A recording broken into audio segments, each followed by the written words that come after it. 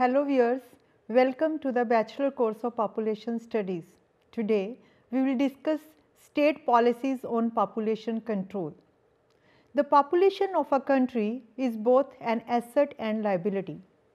Its place in the economic development of any country is very significant. The empirical evidence of various countries has shown that the population growth of a region and its economic development are closely related. India has been a victim of population growth. Although the country has achieved progress in the economic field, the population growth has eroded the growth potential.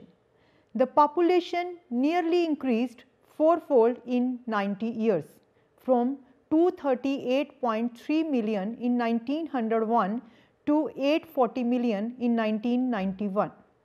With latest population census of India in 2011, the total number of people living in India has been estimated at 1.21 billion representing 17.5 percent of the world population.